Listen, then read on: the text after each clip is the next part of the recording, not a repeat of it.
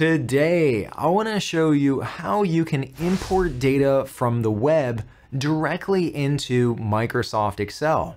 Maybe you want to pull in data from Wikipedia. Maybe you want the latest stock prices, or maybe you want to pull in cookie sales data on your competitors in the cookie industry. You can do all of that. You don't have to manually copy and paste data over into Microsoft Excel. Instead, you can connect Excel to the data source. This way, when the data updates, your spreadsheet will automatically reflect the latest changes. This way, you can focus on higher value activities, like watching videos on YouTube. All right, let's check this out. Here I have a website with cookie sales data for some of the top players in the cookie industry. I'm sure you recognize at least some of these names. See, the Kevin Cookie Company right down here at the bottom. See, I knew you would recognize at least one name on this list. Now, I could copy and paste all of this data and bring it over into Microsoft Excel. But once again, if the data changes or maybe there are some updates, I would have to copy and paste again. And I have far too many YouTube videos to film to spend my time doing that. Let's go over to Excel to see how we can import this data. Within Microsoft Excel, to pull data in from the web, up on the top tabs, let's click on the one called Data. All the way over on the left-hand side, under Get and Transform Data, there's the option to pull data in from the web. Let's click on this option. This opens up a prompt where we can type in a URL of a website where we want to get the data from. This could be Wikipedia. This could be a finance website. It could be any type of website. For this to work though, the data has to be contained within a table on the website. If it's not in a table, unfortunately Excel will be unable to retrieve the data. Here I'll type in the URL and then click on OK. Excel has now made a connection to the website and this opens up the navigator. Over on the left hand side, I can see all of the different elements on the site that Excel found.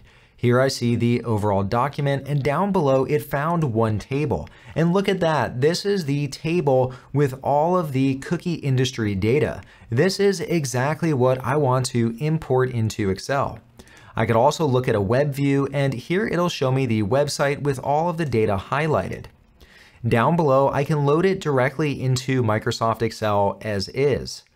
Right over here, I can also transform the data. It's basically a fancy way of saying I can make edits to what this data looks like before I bring it into my spreadsheet.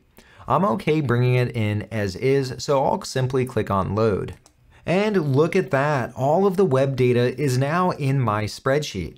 And it really pains me to see Russell Stover ahead of us in the cookie industry. Russell Stover is the cookie that you get as a gift for the holidays that let's be honest, no one is really that excited about.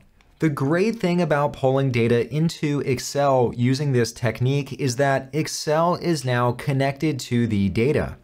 Here when I have the table selected, within table design, I can refresh the data. So once again, let's say you have stock data or maybe Wikipedia data. Let's say that it updates often, you can simply click on this to refresh your data. If we click into connection properties, over here, I can also define how often this sheet should refresh. Currently, it's set to a background refresh, but I could also define the amount of time where I want it to refresh. I could even have it refresh every single time that I open this file. This here is 2020 data, and this is really before I started putting out YouTube videos promoting the Kevin Cookie Company. So let me go up above and I'll click on refresh to see if the latest 2021 data is available yet. And look at that, the Kevin Cookie Company is in the top spot. It looks like all of these YouTube videos promoting the Kevin Cookie Company have really been paying off. I'll have to tell my manager, Patty. Now, let's say that as part of this analysis, I no longer want to include the most popular cookie. Now, I could delete this column and there I've removed it. However, if I go to refresh my data now, it'll pull in all of the data again. And here the most popular cookie is back again. But I don't want it to appear here. So we can use the transform option that we saw earlier to change the way the data looks before it comes into our spreadsheet. To transform the data up on the top tabs, let's click into Query.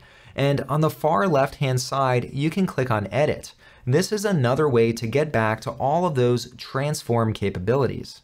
This opens up the Power Query Editor, and with this, you can transform your data before bringing it into Excel. Basically, you can make the data look how you want it to look. Power Query is really powerful. You can run calculations, you can append data, and so much more. I've included a video up above and also down below in the description that goes into far more detail than what I'm going to cover in this video. Here, I simply want to remove the most popular cookie column. I'll go to the top of the column, I'll right click and I'll click on remove. That column is now done and that's the only change I wanted to make. Over here, I'll click on close and load. Back here on the Excel sheet, I can now see that that column is gone.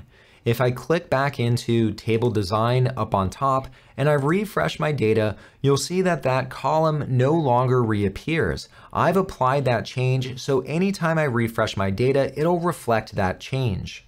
All right, and that's how easy it is to get external data from the web into Microsoft Excel. Like I've always said, there is money in the cookie business. To see more videos like this, please consider subscribing. I'll see you next time.